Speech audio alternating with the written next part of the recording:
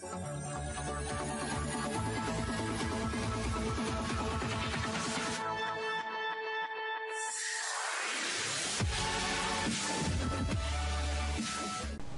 Hello viewers আমি MR Khan Suman, আবার ফিরে এলাম।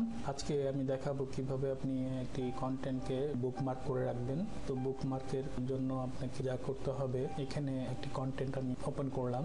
তো এখানে আপনি দুইভাবে বুকমার্ক করে রাখতে পারেন। একটি পেজ হিসাবে, একটি ফোল্ডার হিসাবে। তো পেজ হিসাবে হলো, যেমন ধরুন আমি এখানে আমি বুকমার্ক করে রেখেছি, এগুলো এক একটি পেজ আবার আপনি যদি একটি ফোল্ডার হিসাবে রাখতে চান ফোল্ডারের মধ্যে একাধিক কন্টেন্ট সেভ করে রাখতে চান, তো এইভাবে ফোল্ডার করে রাখতে পারেন। তো চলুন, দেখা যাক বুকমার্ক করার জন্য আমাকে যা করতে হবে। এই, এইখানে তিনটি ডট এই ডটের এখানে ক্লিক করতে হবে। তারপর ছয় নম্বর অপশনে এসে bookmark bookmark this page click করার পর দেখা যাবে কন্টেন্টটির নাম এবং ফোল্ডারটি আমি যেই ফোল্ডারটি যেখানে আমি রাখতে চাই, সেই ফোল্ডারটি এখানে অপশন দেখা যাবে আমি কোথায় রাখতে চাই। যদি আমি এই ফোল্ডারের মধ্যে যে একটি তো রাখতে না চাই, তো চুজ অ্যানাদার ফোল্ডার এখানে আমার আদার্স ফোল্ডার থাকবে। যদি আমি এখানেও না রাখতে চাই, আমি এখানে নতুন ফোল্ডার ক্রিয়েট করে আমি রাখতে পারি। এখানে ধরুন ফেসবুক অথবা অন্য যে কোনো নামে আপনি রাখতে চান। এখানে আমি ক্লিক করলেই আমার একটি ফোল্ডার হয়ে যাবে এবং এটি আমার এখানে শো করবে। দেখুন, এটি সেভ হয়েছে আমার একটি ফোল্ডারে সোশ্যাল বুক মার্ক একটি ফোল্ডার সেখানে একাধিক পেজ রয়েছে এবং সেখানে নিচে যে এই কন্টেন্টটি সেভ হয়েছে। তো আমার যেহেতু এখানে সেভ করা আছে, আমার এটির দরকার নেই। তো আমি এটি রাইট বাটন ক্লিক করে আমি এটি কেটে দিতে পারব।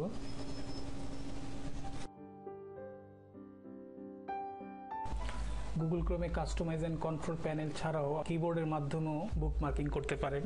তার জন্য আপনাকে করতে হবে কিবোর্ড থেকে কন্ট্রোল ডি তো এখানে এইভাবে করে ওকে ফোল্ডার এবং পেজ করার জন্য আর একটু ডিটেলস আপনাদের জানানোর জন্য। যেতে হয় মার্কস অপশনে এখানে ক্লিক করার পর দেখা যাবে যে বুক মার্কের জন্য বুক মার্ক বার থেকে আপনি সংযোজন বিয়োজন করতে পারবেন, যেটা চান। এখানে আমার যা আছে অপশনগুলো তো আমি তাই দেখতে পারব। যেমন ধরুন আমি মাল্টি লিঙ্ক টু এখানে আমি যা রেখেছি। সেখান থেকে কোনো ফোল্ডারের ভেতর নতুন করে সংযোজন করতে চাচ্ছি বা বিয়োজন করতে চাচ্ছি। ধরুন আমি এই ফোল্ডার থেকে আমি কোনো কন্টেন্ট আমি মুছে ফেলতে চাই ওই জন্য আমাকে ক্লিক করতে হবে। ক্লিক করলাম। করার পর এখানে অনেকগুলো কন্টেন্ট দেখা যাচ্ছে। তো আমি যে কোনো একটি কন্টেন্ট আমি এখান থেকে ইরেজ করতে চাইলে রাইট বাটন ডিলিট হয়ে যাবে এবং আমি এডিট করতে পারব এখানে। আমি এখানে নামটি যা দেবো তাই সেভ হয়ে যাবে। বুকমার্কে ফোল্ডার এবং পেজ ক্রিয়েট করার জন্য যা করতে হবে, ধরুন আমি এখানে একটি বুকমার্ক ফোল্ডার করতে যাচ্ছি এটার ভেতরে। এখানে এসে আমি এখানে একটি ফোল্ডার করতে যাচ্ছি। তো ফোল্ডার করার জন্য আমাকে যা করতে হবে রাইট বাটন ক্লিক করতে হবে। ক্লিক করার পর অ্যাড এ ফোল্ডার এখানে আসতে হবে।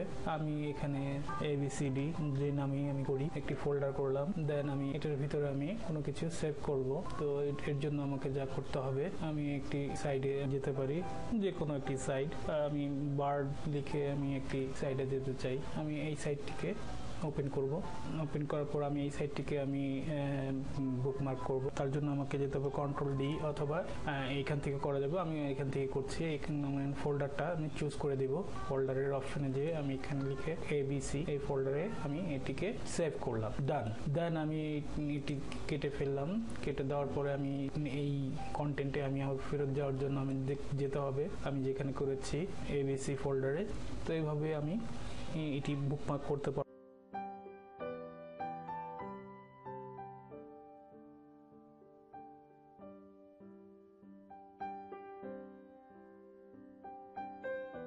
সার্চ বারের পাশে যে তিনটি আইকন আছে, এই তিনটি আইকনের মধ্যে এটি দিয়ে আপনি রিফ্রেশ করার জন্য এটিকে ব্যবহার করতে পারেন এবং এখানে ডানে এবং বামে দুটি অ্যারো চিহ্ন আছে, এটি দিয়ে আপনি এই ট্যাবের পূর্বে সার্চ কন্টেন্ট যেতে পারবেন এবং ডান অ্যারো দিয়ে আবার পরের যে সার্চ দিয়েছিলেন পূর্বেকার পরেরটি যেতে পারবেন। এবং এইটি শর্টকাট কিবোর্ডের মাধ্যমেও আছে সার্চ কন্টেন্টে যাওয়ার জন্য আপনাকে অল্টার লেফট অ্যারো দিয়ে ক্লিক করলেই আপনি পেছনে পেছনেটে যাবেন এবং অল্টার রাইট অ্যারো দিয়ে দিলেই একটা ফিরে আসতে পারবেন। তো এই ছিল বুকমার্কের সাধারণ কিছু ব্যবহার। তো পরবর্তী পর্বে দেখাবো গুগল ক্রমের কাস্টমাইজ প্যানেল তো আজকের মতো এখানে শেষ করছি। আল্লাহ হাফেজ।